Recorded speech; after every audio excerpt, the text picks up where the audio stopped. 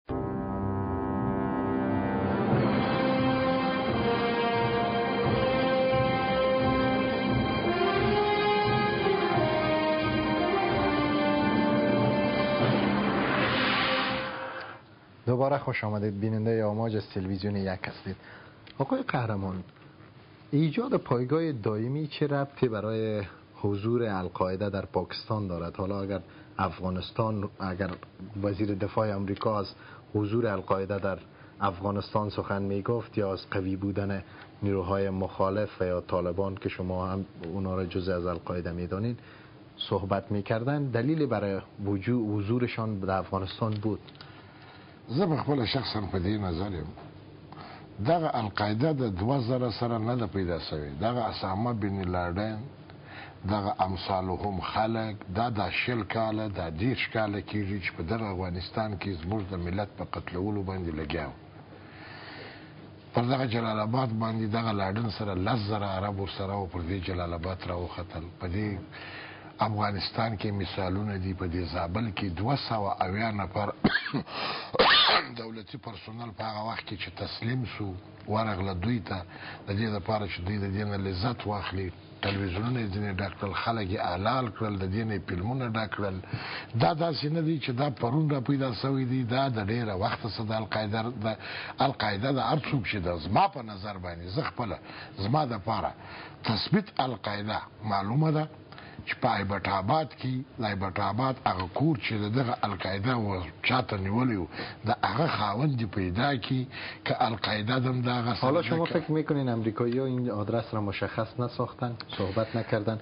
خود دغه سوال باید امریکایان حل کی پاکستان میخواهیم تا بر ضد ایمان زوایری رهبر تازه شبکه القاعده که احتمالا در بخش قبایلی پاکستان هم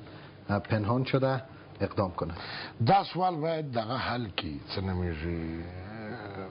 خپل شخصا امریکایان باید حل کی وخت چې تا ته ادرس هم در معلوم دی ځای هم در معلوم دی افغان ولس هم ناری در باندې وي افغان حکومت هم ناری در باندې وي ټول دنیا هم په دې باندې پوهیږي چې د ړانده څخه په دې نړۍ کې پښتنه وکړي چې دغه په ساتونو مرکز چیرې دی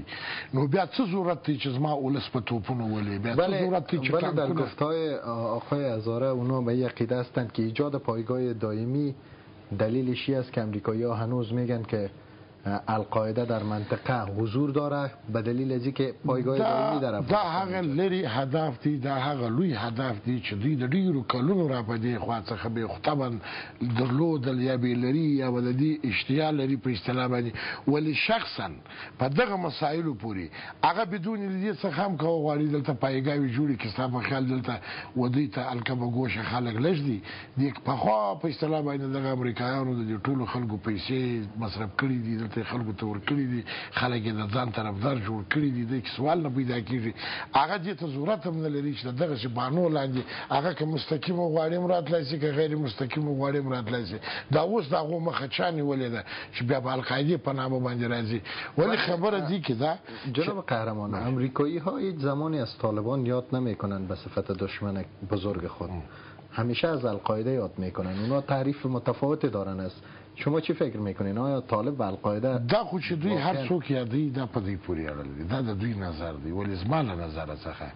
القاعده، طالب، احمد، محمود، دا پنځه سوه تنظیمونه چې دا څلوېښت کاله په دغه افغانستان کې دوی وجنګېدل، دا په هند کې جنګېږي، په سومالیا کې جنګېږي، په اسیای میانه کې جنګېږي، په اوکراین او بلاروس او روس کې جنګېږي، دا دغه ټوله پروګرام چې دوی تطبیقوي، دا نه یوازې د القاعده کار دی، نه د بل کار دی، د دې مرکز معلوم دی. مرکز هر څوک چې القاعده یې بولي هغه القاعده ده که یې بل بولي دا د لاډن په وژلو د الزوایري په وژلو د احمد په وژلو باندې دا لوبه نه ختمیږي چې درڅو دا موضوع د پاکستان سره سم دم حل نه شي دغه د شیطانت او د فساد ځاله د دغې مځکې د کورې سره په جغرافیه کې سم دم د بیخه ونه ایستل شي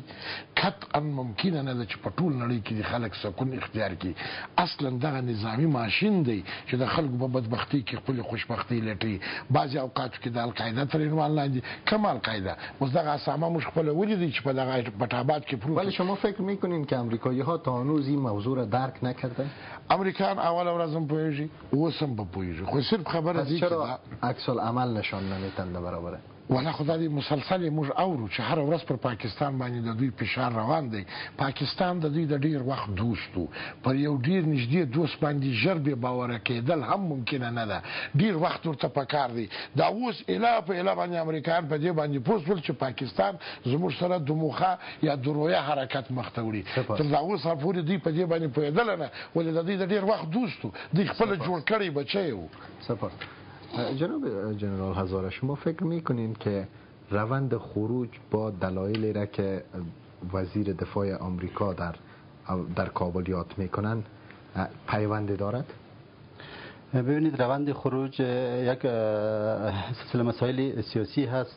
و نظامی هست هم در منطقه و هم در جهان اینا اینا به صورت زنجری در تبانی و بافتی به هم هستند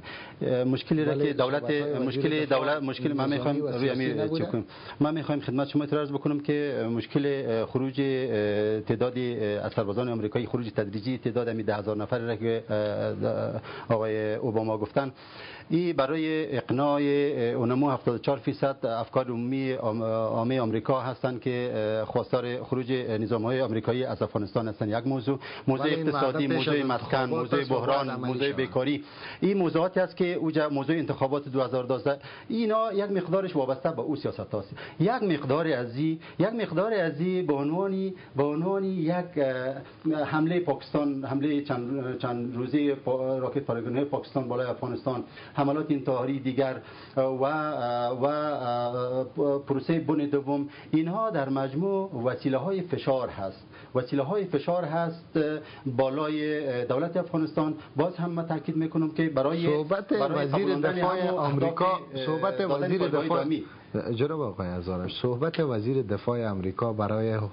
به این که حضور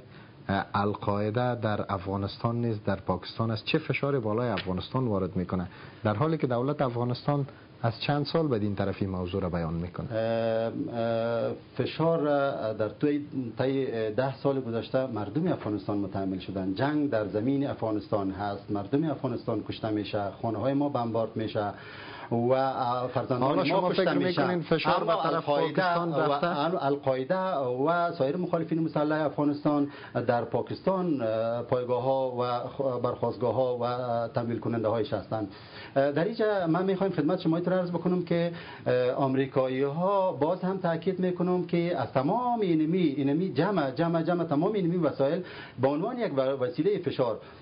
برای داشتن اهداف استراتژیکیش که همانا داشتن پایگاه های دائمی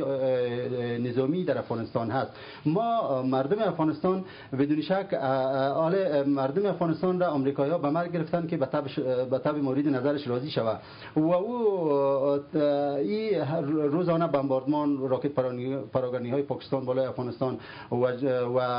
و اظهار به اطلاعی آیسف از از راکت پراگانی های پاکستان این در مجموع خود از این عمق یک توتی بسیار بزرگ را میرسانه که آمریکایی ها در حقیقت به دنبال اهداف بزرگتر هستند تا هدف مبارزه با تروریسم و الا مبارزه با تروریسم را آمریکایی ها میتونن در یک هفته حل و فصلش بکنن